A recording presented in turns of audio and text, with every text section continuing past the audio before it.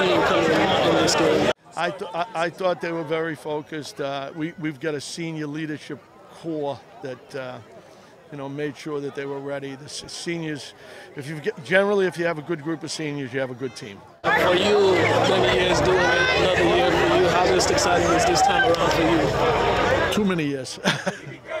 no, it, it, it's this time of year is always exciting. This time, Thanksgiving and Super Bowl. So I'm hoping, I'm hopeful that all three will be good days for me and for the team. Congratulations, Thank you so much.